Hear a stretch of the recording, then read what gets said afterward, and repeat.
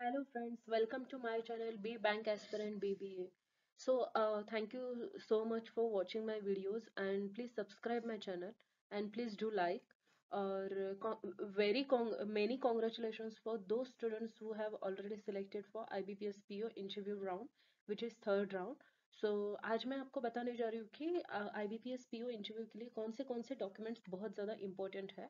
तो प्लीज़ बने रहिए मेरे चैनल पर और एंड तक ये वीडियो देखिए। तो फ़र्स्ट बहुत ज़्यादा इम्पोर्टेंट जो है ये है I B P S P O online application form जब आपने एप्लीकेशन फॉर्म फिल करते हो बिफोर प्रीलियम्स मतलब जब फ़ी वगैरह पे करते हो वो एप्लीकेशन फॉर्म होता है। उसका प्रिंट आउट जो है वो लाना बहुत ज़्यादा ज़रूरी होता है फ्रेंड्स और और एक बात मैं बताती हूँ कि एक बार इंटरव्यू के डेट्स वगैरह सब आज आ, आने के बाद आईबीपीएस फिर से ऑनलाइन एप्लीकेशन फॉर्म हम लोगों को रीप्रिंट करने के लिए ऑप्शन देता है। सो नो वरीज दोस्तों। Even though if you don't have online application form IBPS वो अवेलेबल कर देगा। तो उसका प्रिंट आउट आपको लेके जाना है। डेट ऑफ़ बर्थ प्रूफ इसमें आपको एसएससी का सर्टिफिकेट भी चलेगा क्योंकि उस पर मोस्टली डेट ऑफ़ बर्थ रहती है।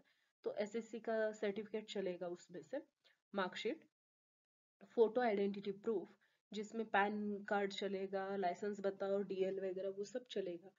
लेकिन हाँ एक बात वेरी श्योर दोस्तों ऑनलाइन एप्लीकेशन फॉर्म में आपने जो नाम डाले रहते हो वो सेम नाम आपके डेट ऑफ़ बर्थ में रहना है फो, फ़ोटो आइडेंटिटी प्रूफ में भी रहना है। अगर वैसा समथिंग कुछ मैरिज के बाद चेंज वगैरह हुआ है तो आपको एफिडेविट एक बनाना पड़ता है। उसमें पूरा कंटेंट लिखना पड़ता है कि ऐसा ऐसा शादी होने के बाद मेरा पहले ये सरनेम था अभी ये सरनेम हुआ है। तो उसका एक ये भी मिल जाएगा आप लोगों को गूगल में कि कैसे क्या क्या लिखना है एफिडेविट में। और I B P S P O admit card जो इंटरव्यू के लिए एडमिट कार्ड रिलीज़ होता है, वो एडमिट कार्ड भी बहुत ज़्यादा ज़रूरी है।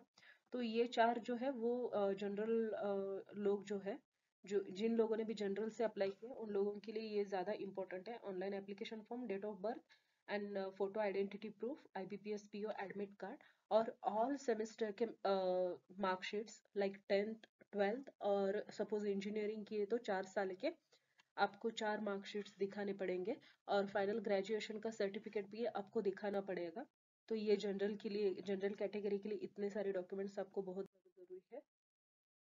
नेक्स्ट वही ग्रेजुएशन मार्कशीट्स डिग्री सर्टिफिकेट्स और equivalent qualification result dated on और बिफोर अगस्त 2022 तो ग्रेजुएशन के सब मार्कशीट्स आपको लेके जाने पड़ेंगे और टेंथ और ट्वेल्थ का भी लेके जाना पड़ेगा फ्रेंड्स तो दी कास्ट सर्टिफिकेट अगर इतना सब तो जनरल के लिए है, अभी जो ये मैंने बताई हूँ, ये सब जनरल के लिए अगर कोई कैटेगरी से बिलोंग करता है तो वो लोग कास्ट सर्टिफिकेट देना है। अगर किसी ने ओबीसी डाला है तो उनको नॉन क्रिमिनल देना भी बहुत ज़्यादा ज़रूरी है। और yes income certificate for E W S economically weaker section category के जो लोग हैं, उनको इनकम सर्टिफिकेट बहुत ज़्यादा ज़रूरी है। और disability certificate for P W D category और कैंडिडेट सर्विंग अगर कोई गवर्नमेंट ऑफ़िस में काम कर रहा है, नहीं तो ऑलरेडी बैंक में काम कर रहा है नेशनलाइज बैंक में तो उनको नो ऑब्जेक्शन सर्टिफिकेट बहुत ज़्यादा ज़रूरी है। No objection certificate which is very important friends और experience letter which is completely optional it's not necessary कि आपको वो लेके ही आना है बट नो ऑब्जेक्शन सर्टिफिकेट चाहिए फ्रेंड्स और आपको वो दो तीन खुद के फ़ोटो कॉपीज लेके जाना है। और हाँ हर डॉक्यूमेंट का एक दो दो सेट तो चाहिए ही चाहिए। तो फॉर इमरजेंसी पर्पज आप दो दो सेट रख सकते हो। तो यस इतने सारे डॉक्यूमेंट्स आपको चाहिए। अगर आपको कुछ भी डाउट हो तो प्लीज़ मुझे कमेंट में in the comment me in the box thank you so much for watching my video और please subscribe my channel and please do like thank you